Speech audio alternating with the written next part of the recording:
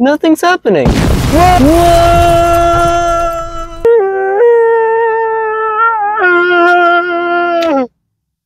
Hey, brother. Sorry, freaker. Well, it's time to get back to the trailer. That's a wide moon.